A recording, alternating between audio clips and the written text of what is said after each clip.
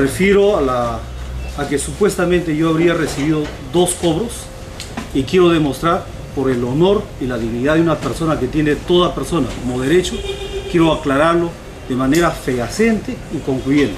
Tengo acá los documentos donde hay una solicitud de destaque del profesor Francisco Vázquez Carrillo con plaza de origen.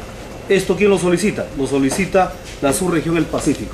No yo, sino es la subregión del Pacífico la que solicita un destaque de origen. Por lo tanto, si es de origen, el que debe pagar es la UGEL. No es, no es la subregión. La subregión nunca me pagó. El que me pagó siempre fue la UGEL.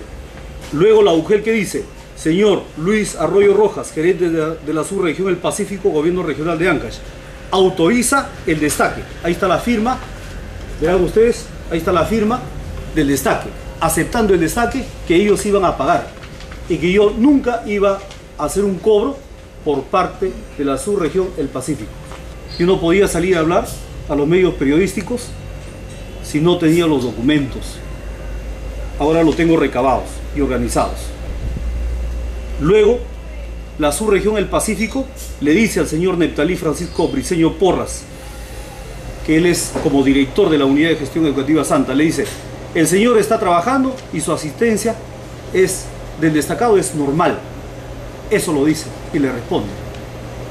O sea, la subregión le está diciendo, por si acaso, yo no, yo no estoy pagando. Por eso te estoy diciendo que el señor está trabajando normal. ¿eh? Eso es lo que le está diciendo.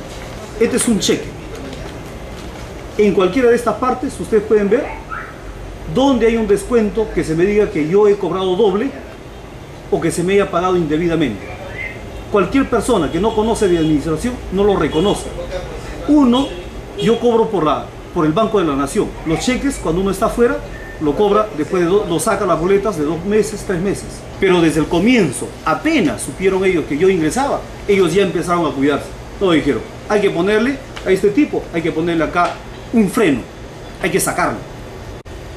Evidentemente el que está detrás de esto es el señor, es el señor eh, director regional de educación todavía, a pesar de que dice que ha renunciado, pero cuando se renuncia se retira. Yo, por ejemplo, cuando en algún momento dije me retiro, me retiro. Están involucrados en actos totalmente dolosos que yo en un momento dado voy a demostrar. Entonces era por lo Yo he pedido se, una estaba voceando, se estaba voceando que usted iba a ser el director regional de educación. No, no, no. Ahí aclaramos, yo se lo agradezco por la pregunta. Primero que yo no puedo ser director porque no tengo 15 años.